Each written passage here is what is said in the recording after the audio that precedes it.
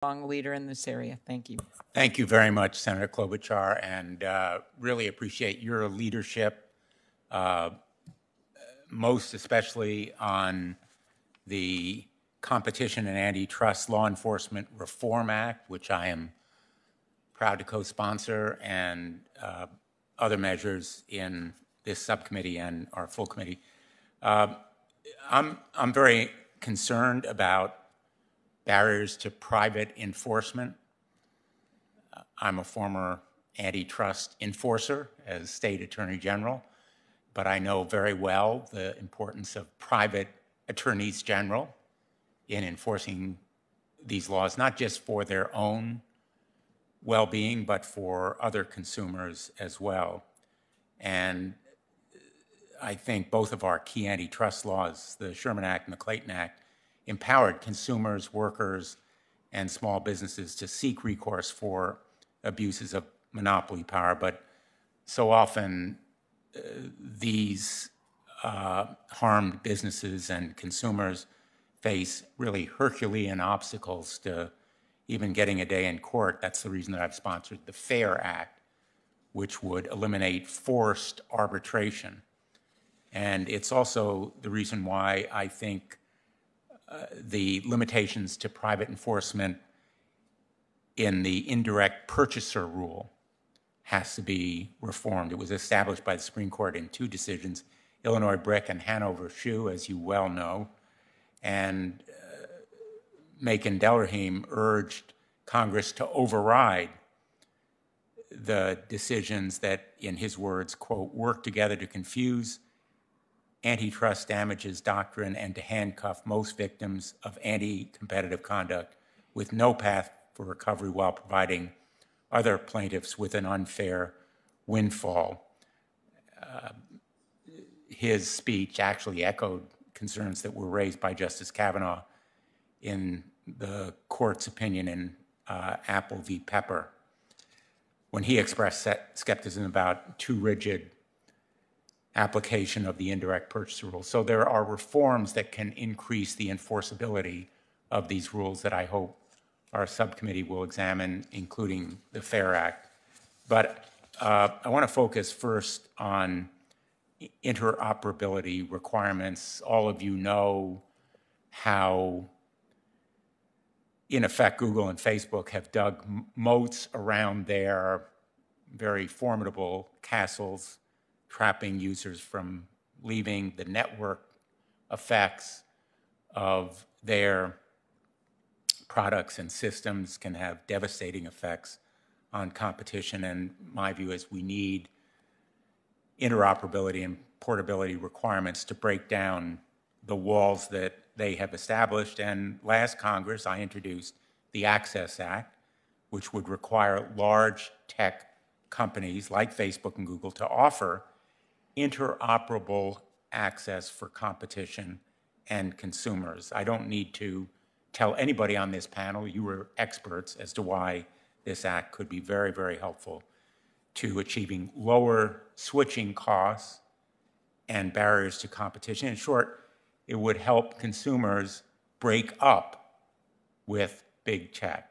Not necessarily break up big tech, but engender innovation and competition by enabling consumers to break up with these marriages that may inhibit competition. So let me ask all of you, do you agree that interoperability and data portability requirements would help foster startups and competitors that could compete on pro-consumer terms with big tech? And I would appreciate, obviously, you're supporting the Access Act in that regard. I'll begin with whoever would like to go first. So we definitely do support interoperability. We think it's essential in a marketplace like tech platforms that where the dominance is so entrenched that um, really that's going to be the only opportunity in the near term for uh, consumers to get a choice is to go with some new upstart alternative that doesn't require them to give up all of their Facebook friends or all of their songs that they've collected or whatever it may be. Uh, those need to be in the control of the consumer, not the platform. Uh, we also think it's important that in whatever wider access is given, that uh, focus be kept on uh, the consumer being uh, aware of and um, in charge of what happens to their data and their information. Thank you. Thank you. Um, so I would say it, it depends on the details. I, I think this is potentially a very pro-consumer option. Um, first, I, I, think we need to separate, you know, what is portability versus interoperability because the kind of concerns and considerations there are a bit different. Um, it comes down to, you know, implementation, um, how broad of a mandate it is, how well it fits with that technology, and also security. Um, I, I, think that's a really big consideration too. Is that you know this is something that would have to be implemented very smartly, especially when it comes to portability, because that could come with some security risks. So um, I I think it's definitely worth exploring, but um, needs to, you know, the devils are in the details sometimes. You endorse it in principle and you want to see the details? Yes, I, I endorse, um, you know, exploring that, so yes. Thank you.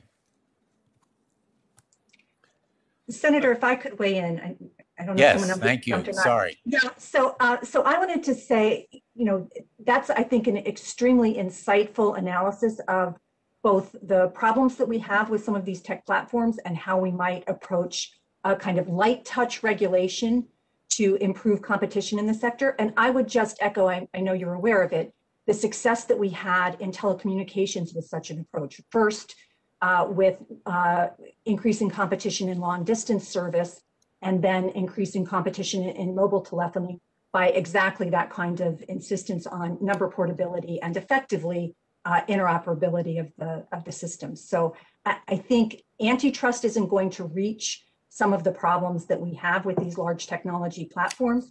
Competition is going to have a tough time uh, if we can't find a way to to um, make entrance more viable. And that type of approach might be, as it's you know being pursued in in the UK and in Europe, might be um, a very powerful way to improve competition. Thank you. You know, I just um, our organization, you know, strongly supports interoperability requirements, but we, with a caveat, which is that we um, have to understand that those alone will definitely not solve the power problems, and that uh, we have to be focused uh, in integrating uh, interoperability requirements with uh, anti-discrimination rules, and also with ensuring that we're getting the proper structure. Actually, you know. Uh, um, uh, Nancy Rose just mentioned uh, the AT&T case, and actually part of what was happening was a restructuring of AT&T. So it's like it has these things have to be uh, uh, uh, pursued as a as a unit. That's a good point. I wasn't suggesting that the Access Act be the exclusive reform that we undertake, but I I take your point. Thank you. Some people do. That's why. Thanks for the question, Senator. I, I think the analog has been made that, um, or the analogy has been made to the uh, telephone industry and the portability of phone numbers, and I think that was a um, uh, uh, policy that was supported under the Bush administration and has uh, pro-consumer benefits. Um, and I think that these issues are equally um, capable uh, of in need of study. I think it's likely that these are much more complex, and I think, as others have said, the devil's in the details, um, so to speak, uh, because of that complexity. I don't dispute that it is complex or it can be made complex, but the principle is very simple. And as all of you know, it has worked, as you say, in telecommunications. So uh, I hope we can continue to get the benefit of your insight and advice. Thank you all. Thanks. Very good. Thank you very much, Senator Blumenthal. I also want to note we were joined by Senator Blackburn, who has an interest in this issue, which I appreciate. And uh, um, she's been online. You can't always see everyone, but I want to thank her for her participation. Um, and I'm going to turn over to Senator Lee to ask a few more questions. We have a vote coming up, so he and I will close with some questions. Senator Lee. Thanks so much.